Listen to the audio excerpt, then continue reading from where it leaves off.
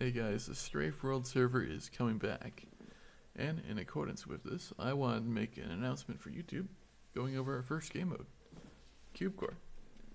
So Cube Core is a pretty simple game mode where all you do is you just make your own set using diamond, rogue, archer, or bard armor. We're gonna go make a diamond set right now, or kit. And from there you can grab your sword, ender pearls, uh, food, and basically all the essentials you'll ever need. From there you can go ahead and make and get your own potions. Uh, so I'm gonna do like four speeds, four strengths.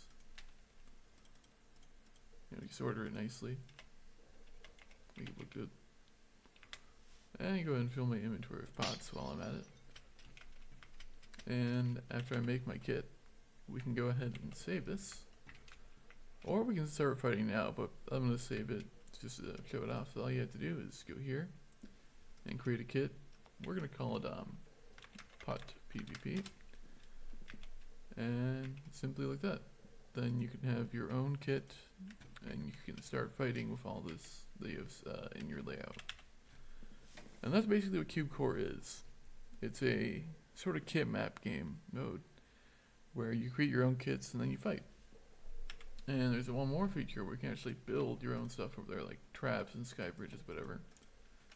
And basically build your own battle arena, which is pretty cool, I think, for uh, this sort of game.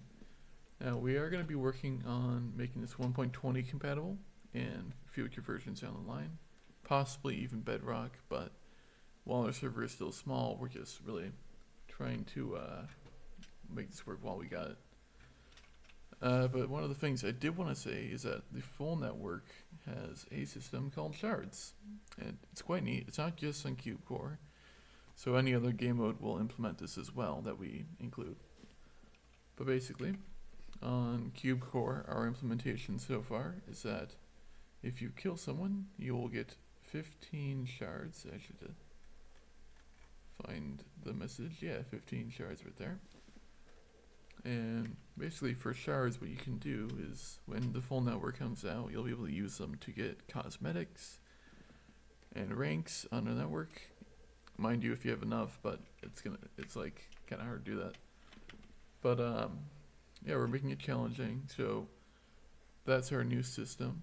It's non-pay to win. You can't buy shards on the store, and a lot of the in-game uh, shop things that you can buy, you can only get with shards. So yeah, you can actually check your shards with slash shards, or in the hub it'll be on the scoreboard.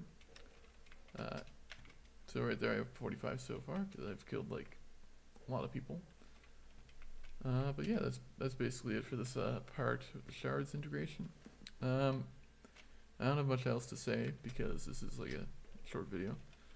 But we are currently in the beta season on CubeCore. It has started today. Uh, you can join at strafe.world, like right there, I guess. And you can go on our Discord and Twitter with these social links right here. So, yeah, it'll all be in the description as well for the info. And I hope you guys have a great day. Bye.